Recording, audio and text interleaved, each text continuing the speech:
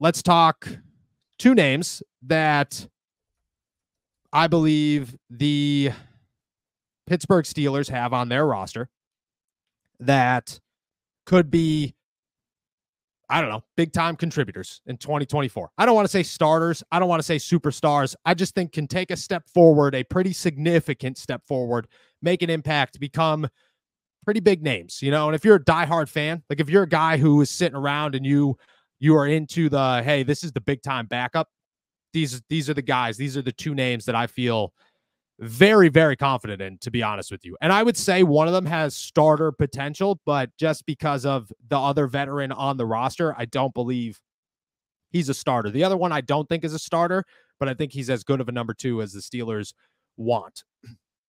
Let's start with the lesser of the two, the lower name. That is defensive tackle Isaiahh Loudermilk. People are going to say, "What? What? Isaiahh's done nothing. He's a run stuffer." Isaiahh looks big. He looks, and that's hard to do when you're six seven. Like it, it's hard to look bigger than you are. Isaiahh looks bigger. He looks leaner. He looks faster. I think he's a dude that last year took a pretty big step forward late in the season. And this year is kind of coming into his own, I feel. I feel this is the year that Isaiahh Loudermilk came into the NFL and had a lot of development. He he was raw. He was a positionless. The Steelers didn't know if they were going to play him on the outside or the inside. He had to learn to play on the inside. He had most of his experience at Wisconsin kind of played that defensive end role, bounced inside to play more of a, a, a gap role, and at times even stuck himself right in the middle of a defensive line. I think he's big enough to do all that. I think that the Pittsburgh Steelers are going to find themselves in a position where they're trying to rotate as many guys in here as possible on that defensive line to keep guys healthy, to keep their older veterans calm and and ready to go later in the season.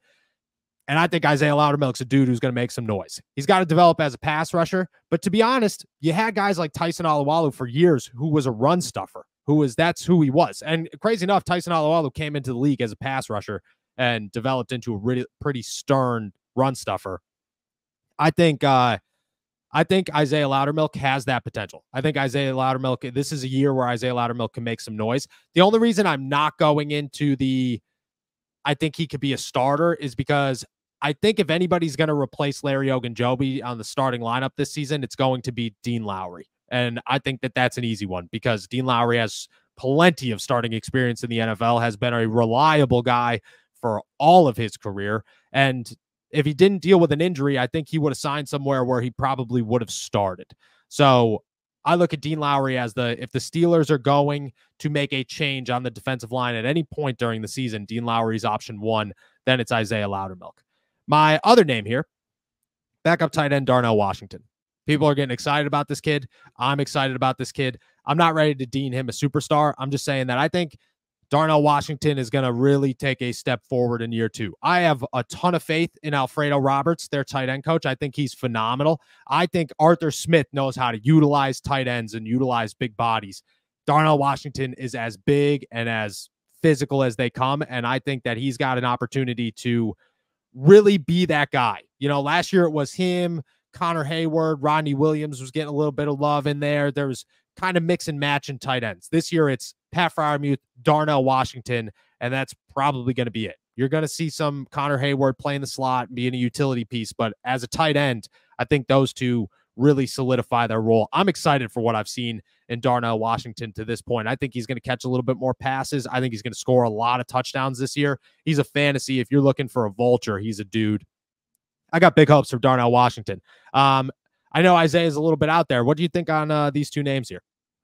I definitely like the Darnell Washington one. I think that he's going to be huge in the red zone this year simply because, I mean, even yesterday we talked about, well, what if they use Justin Fields in those packages? But even if they use. Russell Wilson and they just, they ignore the Justin Fields of it all, you have running backs like Najee Harris and Jaylen Warren who can run it down your throat from five yards out. And you have Darnell Washington who can be that versatile guy because you know they can run the ball on you. And Darnell Washington is a some people have already said is another tackle. So you know he's going to be a good blocker. Or if you sell out for the run, he's a huge target. He's a guy that was used in that role very well at Georgia. They didn't use him a lot last year, but they didn't use tight ends a lot last year. Like you mentioned, Arthur Smith loves to use tight ends, especially in the red zone. You look at all the tight end touchdowns that were down there in Atlanta. That's what's coming to Pittsburgh. And I think Darnell Washington is going to benefit a lot from it. So I'll, I love the Darnell Washington of it all. The Isaiahh Loudermilk, I just it's weird. You know, I I see where you're going with it, but there's just so many names on that defensive line that I, I think that if they do end up using that rotation, like you mentioned, yeah, I yep. could see that that becomes a role in which Isaiahh Loudermilk is looked at as, oh, he's having a much better season than he's had in the past because he's going to be much more visible. He's going to get many more snaps. But I think that as far as the hierarchy goes on that defensive line, I still think that he's behind the eight ball when it comes to some of the other names that are out there. Who do you think is ahead of him? Can I ask that question? Position wise, I think that obviously you mentioned Dean Lowry. I think that, yes. you know, Keanu Benton is going to have a lot more playing time so yeah, I, yeah. I, think that he's also going to probably take away from opportunities for Isaiahh Loudermilk, but also you, know, you still have Cam out there who's going to be, you know, you might want to take him off the field, but after last year, are you going to be able to take him off the field if he's healthy this year?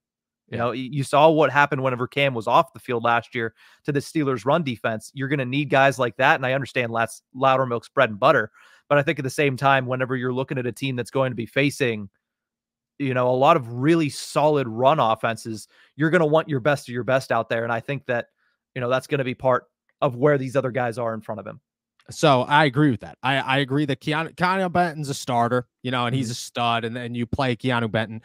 I think the longer the season goes on, the more the Steelers are going to realize that I, Isaiahh Loudermilk is a better run stuffer than most of their options, and that when you're play, playing guys like Lamar Jackson and Nick Chubb and Cincinnati doesn't really even have a running back, so let's not no. let's not toss Cincinnati out there. Zack Moss, man, shout out. Hope you do your best, but let's be realistic about the situation. If the Steelers find themselves uh, against a lot of running teams, which they probably will this season, mm-hmm. then Loudermilk is a big is a big addition, and so is Dean Lowry. But I think Loudermilk's going to play. It's going to be like the Markus Golden last year, where Markus Golden sat a couple of games and DeMarvin Leal sat a couple couple of games because you just faced run heavy teams. And I think that the Steelers are going to find themselves this year. And I think that's where Isaiahh Loudermilk's going to be like, this is where I shine, man. This is where I come into play and this is where I make an impact. He's going to surpass Montravius Adams. He's going to surpass. I, w- I want to say at one point he might surpass Larry O. Like I'm just this is a shot in the dark. It's early, but I don't know, man. I think I got a lot of potential in this kid. From what I've heard from his trainers and from other players who kind of work with him, he has really taken a step forward this offseason.